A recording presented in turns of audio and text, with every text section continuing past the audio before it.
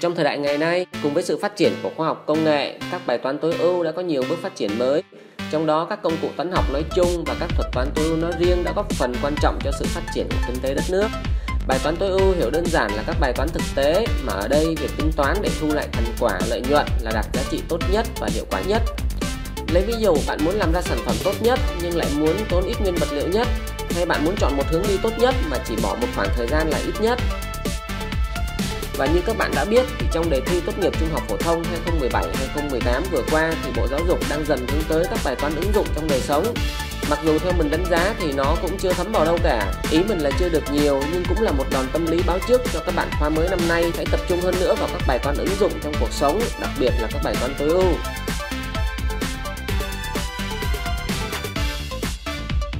Và chào mừng các bạn đã quay trở lại với Zumat TV, nơi mà các bạn có thể tìm thấy cho mình một niềm tin vững chắc hơn vào việc học toán. Trong chuyên mục ngày hôm nay nhằm giúp các bạn có một ít công cụ làm hành trang cho việc học và thi tốt nghiệp sau này. Mình tất công tập lực ngày đêm để hoàn thành video này. Nào, bây giờ mời các bạn cùng thư giãn và đến với top 5 bài toán tối ưu tiết kiệm chi phí trong xây dựng và kinh doanh. Bài toán thứ nhất, bài toán tiết kiệm chi phí xây bể nước một người thợ xây cần xây một bể nước có thể tích là 108 mét khối, có dạng hình hộp chữ nhật, có đáy là hình vuông và không có nắp. Biết thành bể và đáy bể đều được xây bằng gạch, độ dày của thành bể và đáy bể là như nhau. Các viên gạch có kích thước là như nhau và số viên gạch trên một đơn vị diện tích là bằng nhau. Câu hỏi đặt ra ở đây là phải xây như thế nào để tốn ít gạch nhất mà vẫn đáp ứng được thể tích của bể nước. Phân tích Ta thấy rằng vì thành bể và đáy bể đều được xây bằng gạch, độ dày của thành bể và đáy bể là như nhau, các viên gạch có kích thước như nhau và số viên gạch trên một đơn vị diện tích là bằng nhau, nên số gạch cần dùng để xây bể ít nhất tương ứng với tổng diện tích xung quanh và mặt đáy là nhỏ nhất. Vì thế nếu như gọi x và y lần lượt là cạnh đáy và chiều cao của lòng bể và S là tổng diện tích bề mặt của lòng bể thì ta có S sẽ bằng x bình cộng 4 nhân x y với x y lớn không Do thể tích bể không đổi nên thể tích của thành bể sẽ là x bình nhân y. Từ đó ta có y sẽ bằng 108 trên x bình.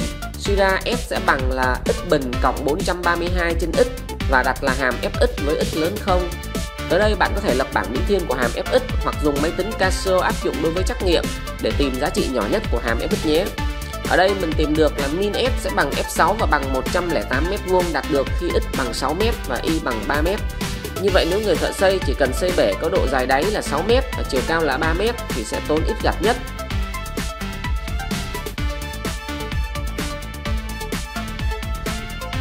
Bài toán 2. Xây dựng hành lang giữa hai tòa nhà.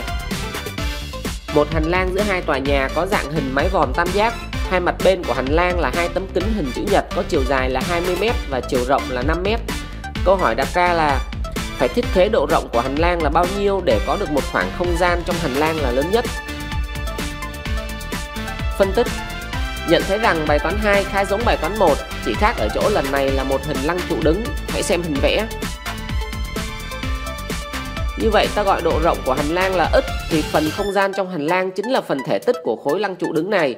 Và như vậy ta sẽ có thể tích của hình lăng trụ sẽ bằng AA phẩy nhân cho diện tích tam giác ABC và bằng 20 nhân 1 phần 2 x nhân căn của 25 trừ x bình trên 4 và bằng 5x nhân căn của 100 trừ x bình phương.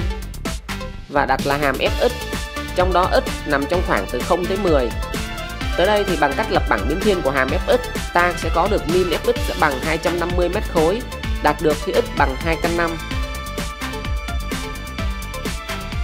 Bài toán 3 Bài toán tiết kiệm chi phí mắc đường dây điện hay bài toán tìm đường đi ngắn nhất? Một ngọn hải đăng được đặt ở một hòn đảo cách đất liền là 6 km Một nhà máy điện đặt ở đất liền cách đảo 10 km Người ta muốn mắc một đường dây điện từ nhà máy tới đảo. Biết chi phí để mắc 1 km đường dây điện trên đất liền là 20 triệu đồng và trên biển là 40 triệu đồng Câu hỏi đặt ra là phải mắc như thế nào để số tiền chi phí bỏ ra là ít nhất Phân tích Rõ ràng nếu nối trực tiếp từ nhà máy điện ra đảo qua đường biển thì chi phí rõ ràng là quá mắc. Vậy nên phải bắt đường dây điện đi trên đất liền một đoạn là ít km rồi từ đó mới mắc ra đảo. Hãy xem hình vẽ. Như vậy, chi phí để mắc đường dây điện sẽ là CP bằng AM nhân 40 cộng CM nhân 20 và bằng 40 nhân căn của x bình trừ 16x cộng 100 cộng cho 20x và mình đặt là hàm fx với x sẽ nằm trong đoạn từ 0 tới 8. Tiếp tục lặp lại quá trình lập bảng biến thiên hoặc sử dụng máy tính Casio áp dụng đối với trắc nghiệm. Để thay đổi không khí thì kỳ này mình sử dụng máy tính để ra đáp án nhé. Hãy theo dõi.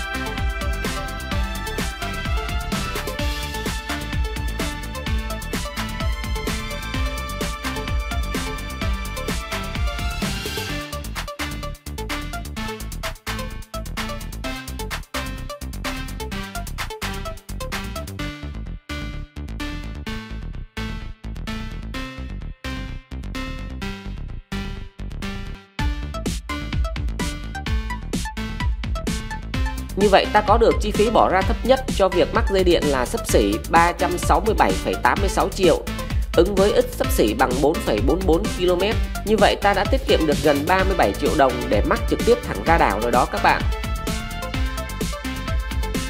Bài toán 4 Bài toán cho thuê giá căn hộ Một công ty bất động sản có 50 căn hộ cho thuê Biết rằng nếu cho thuê mỗi căn hộ với giá 2 triệu đồng trên một tháng thì mọi căn hộ đều có người thuê mà bạn biết đó, khi mà vật giá ngày càng leo thang, kèm theo đó là mọi chi phí sinh hoạt cũng tăng theo, thì việc tăng giá cho thuê căn hộ cũng phải tăng theo.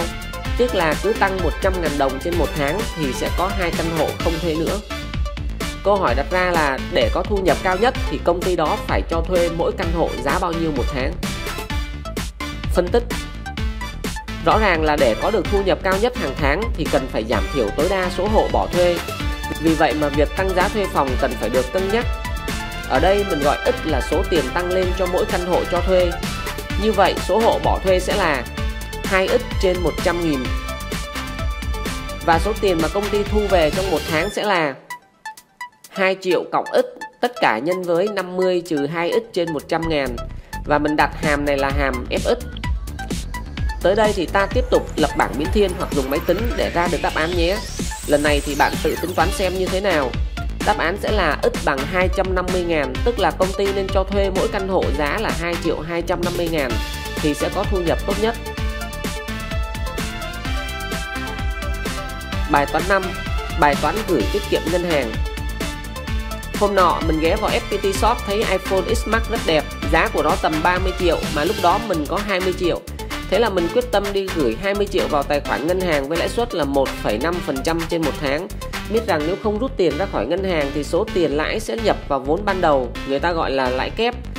Câu hỏi đặt ra là sau bao lâu thì mình mới có đủ tiền mua chiếc iPhone X Max đây? Phân tích Gọi số tiền mình gửi tiết kiệm là M và lãi suất là R và N là số tháng mà mình đủ mua chiếc iPhone.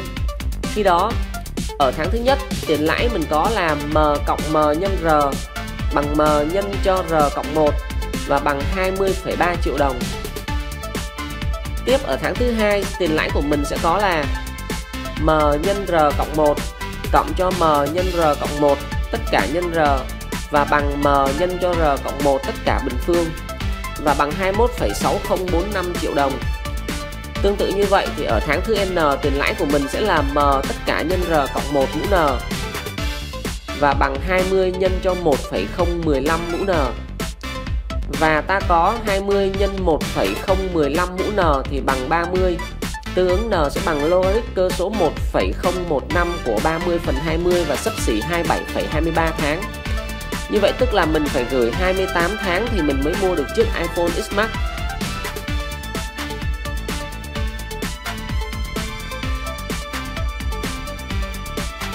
Tới đây thì Dumac TV xin chào các bạn. Hãy xem nếu sau này bạn là một nhà xây dựng hay là một nhà sản xuất kinh doanh hoặc đơn giản là bạn có nhiều tiền và muốn gửi tiết kiệm ngân hàng thì bạn nên tham khảo năm bài toán này nha. Mà trước mắt là bạn cũng nên tham khảo luôn đi vì kỳ thi tốt nghiệp tới này biết đâu lại ra đề trúng một trong năm bài toán trên thì sao. Câu cuối cùng chốt lại vẫn là nếu bạn thấy hay hãy bấm like, share và subscribe cho mình. Bấm thêm cái chuông để khi có video mới bạn là người đầu tiên được thưởng thức nó. Xin chào và hẹn gặp lại các bạn ở các clip tiếp theo.